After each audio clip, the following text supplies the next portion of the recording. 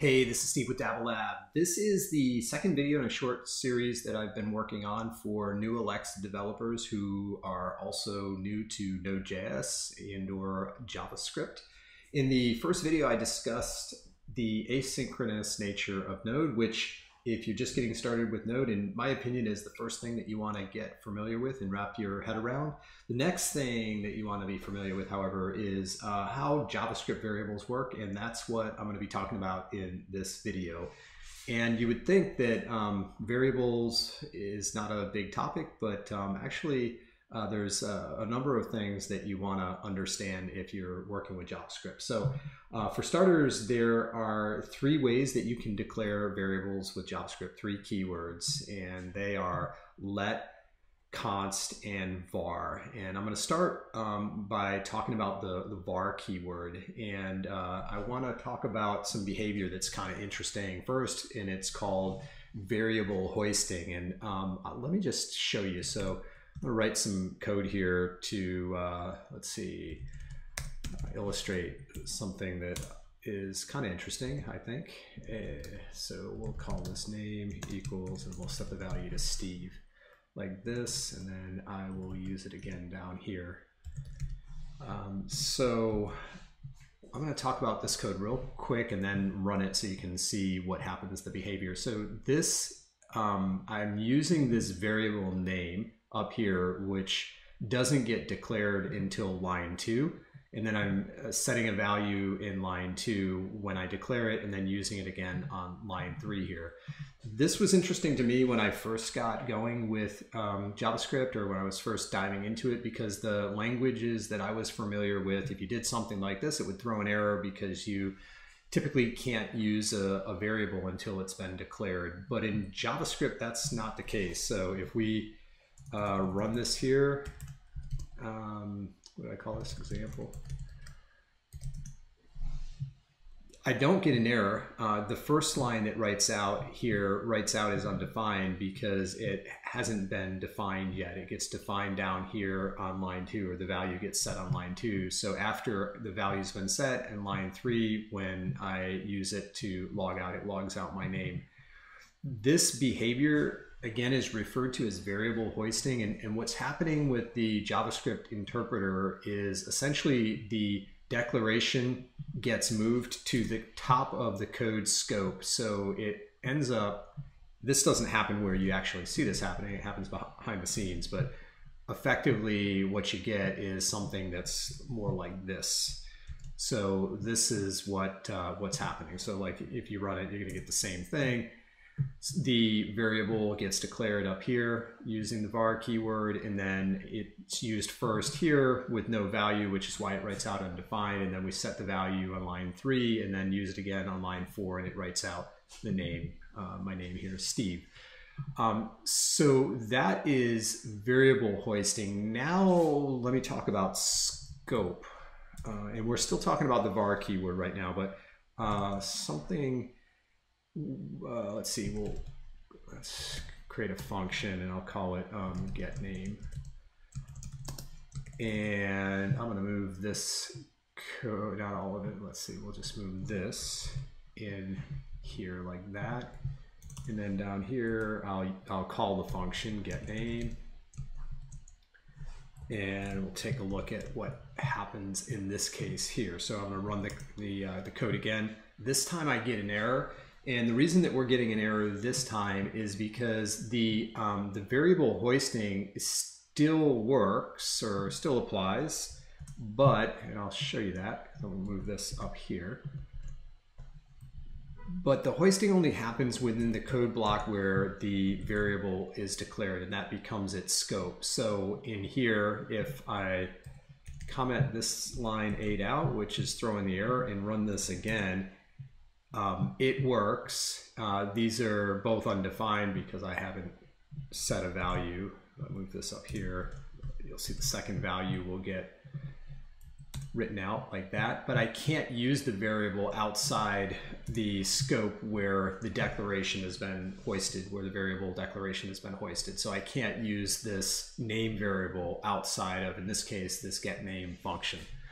Okay, so that is variable hoisting and scope for the var keyword. Now let's talk about the let keyword. And the syntax is exactly the same. The only difference is rather than using var, you're going to use let. But the behavior is uh, different. In mostly, the, the biggest difference is that there is no variable hoisting if you're using let. So if I just change that from var to let in this case and try to rerun this, I'm going to get an error because I'm trying to use the name variable up here, but because I've declared that using the uh, let keyword, and there is no variable hoisting, that's what's causing the error. Another, um, another difference in var and let is scope. So uh, they both can't be used, like I couldn't use the, the variable outside of the scope, in this case, the get name function, but within the function, if I use the var keyword, um, uh, let's see how I can illustrate this. So I'm going to create an if statement in here to illustrate this. So I'm going to say if, uh, if, oh my gosh, um, if arrived,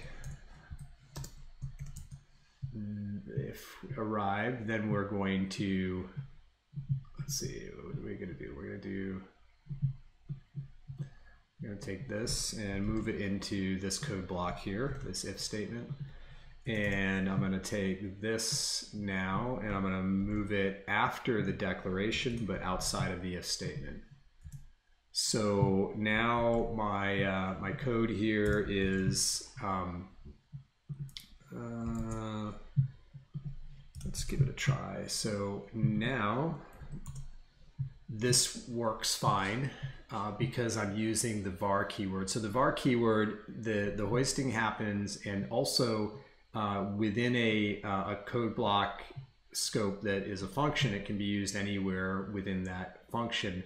That is not the case though with let. So if I change this from uh, var to let, I'm going to get an error because with the let keyword, uh, the scope changes a little bit and gets uh, a bit more narrow. So within a function, if you use the let keyword to uh, declare a variable within an if statement or a code block within the function, it can't be used outside of that code block. So I can use it within the code block. So if I do this, and run it, that works fine. Um, I'm using the variable after it was declared and within the scope uh, that is acceptable, in this case, the if statement. So all is good. And so that's the difference between var and let. Now let's take a look at const. And um, this, the, the const keyword, uh, again, syntax is the same. The const keyword is pretty much exactly like the let keyword with one big difference being that you can't reset the value. So once it's set um, and you set it like, for example, uh, I'll, I'll declare it and set it to Bob. So if I'm using the const keyword and I do this, um, I'm going to get an error because with the const keyword, you can't reset the value of it. Uh, if this was let, this would work fine. If this was var, this would work fine. But I can't do that with const. One kind of exception is that um, if you use const to uh, hold a object, and we'll just like do an example like uh, first name. Uh, so if I do something like this, and then I do name dot first name equals Steve, and then I use that um, here, this will be fine because I'm not changing the value of the variable. I'm just changing a property within that object, in this case, um, the, the property for first name, if I actually tried to change the value of the variable, so if I tried to like say set name to like, um, I don't know, uh, let's just say like an empty object, this is gonna throw an error. Um, but I can manipulate the uh, the object all I want. So if I go named last name, for example, this will work fine.